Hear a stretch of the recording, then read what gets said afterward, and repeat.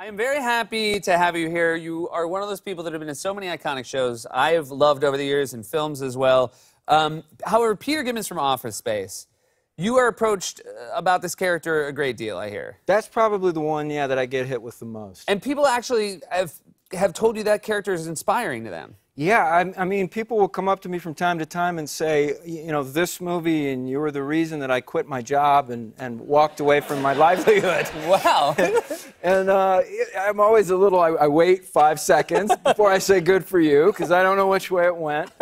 And, uh, and then, yeah, and it's usually good, or they wouldn't have, or they'd have just taken me out from yeah, behind. exactly. Yeah. Um, and then, this, so you're also in Sex and the City. Yes. You were Berger. Yes, it was Berger. And you had one of the great somebody recognizing you as Berger of all time. I feel like being uh, in that show, having a part in that show. Explain who recognized you at a Lakers game. It was so surreal. I uh, the agency I was with at the time had courtside Laker tickets, and uh, for some reason everyone else must have been out of town because I got the invite to go.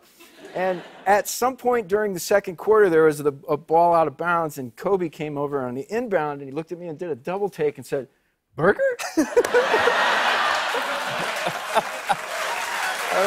wow.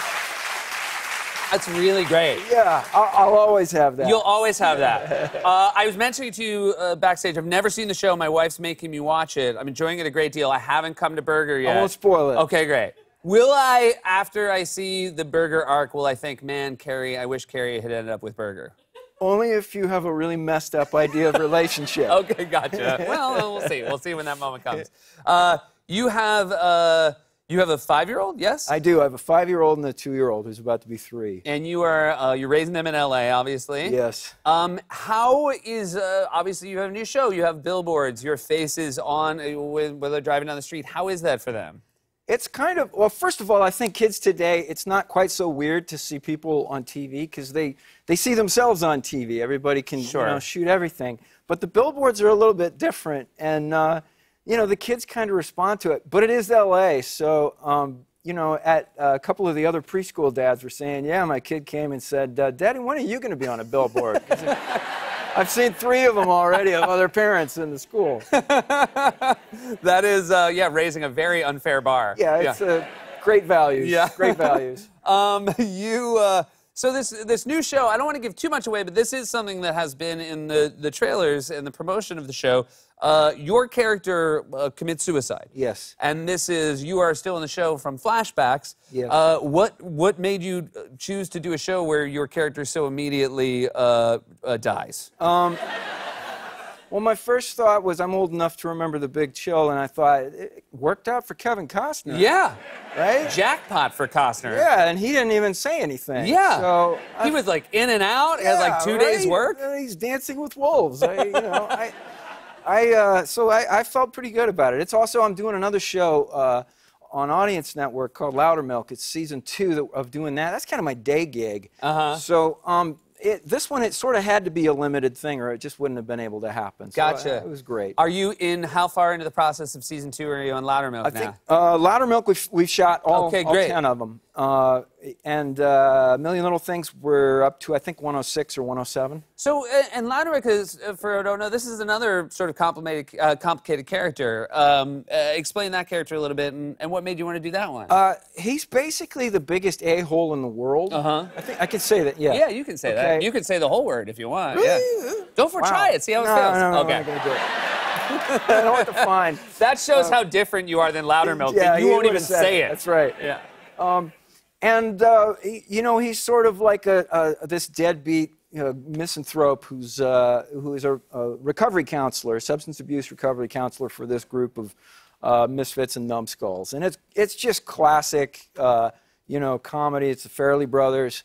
Uh, Will Sasso's on it. It's it's a blast to do. And you, uh, obviously, working with great uh, television makers, great filmmakers. Uh, Matt Weiner, Ben Ben, has a new show called The Romanoffs. Yes. You're in that as well. Yes. That is a show, very uh, inscrutable trailer. Very hard to tell what the show's yeah. about. Do you? Can you understand what it's about? Oh, I was in it, and I, I have no idea okay, gotcha. what it was about. I, I don't know. You're confident we'll all like it. I'm, I, I am. I think because Matt's a mad genius, but he is one of those guys that just likes everything to be secret so that it can you know, do the whole thing, and and uh, I, I, I respect that. Um, it's an anthology. Well, I don't know. I think it's an. An- all I know is I'm in only one of them, so I, assume, I hope everyone else is not in all of them, and I'm the only. Yeah, yeah. Oh, yeah. My fingers are crossed that you find out. no, everybody but Ron's in all of them. Oh, I'll be like, oh gosh, I, really, I looked really dumb on Seth Meyers. you, uh, you have, uh, you're not from Chicago, but you lived there after college? Yes. And what brought you to Chicago in the first place? Um, you know what? It was just one of those things where I got out of school and I was kind of floating around and I, I knew I was going to give acting a shot somewhere. I, I, uh, um, I, I was probably too chicken to come and try it in New York. I thought about Seattle for a minute because I didn't really know the difference between acting and music. and uh, and then sort of decided on Chicago because it was close to home, and uh, Steppenwolf was a big deal. Sure, you know, had been a big deal, so we were all chasing that. You, uh, I the first time I saw you was in Swingers. Did you meet those guys in Chicago? Did you meet Favreau there? I met John in Chicago, and I met Vince. John and I moved to L.A. at about the same time, -huh. and became closer friends, sort of in uh, it, by the fact that we were the only two people that moved to L.A. in that month, and so we only knew each other. Um, but he knew Vince from uh, from doing Rudy earlier, the two of them, and they. Uh, I mean, it's kind of a documentary, Swingers, of really of, of what it was like to be 26 in LA. Yeah, were you? I mean, you know, I, I, you know, obviously one of the you know, the legend of that movie is, you know, you guys couldn't possibly have known you were making this film that was going to, again, like sort of be this indelible mark on that moment in time, which it certainly is. Did you have any sense that it was going to be a film that people were going to see and remember for this long? No, uh, we didn't think it was going to be a movie that we were in. We were we rehearsed it. Well, we we did readings of it for like a year, trying to help John sell it with uh-huh. the idea that well, we're never going to be in it, but maybe some producer will see us. right. Know?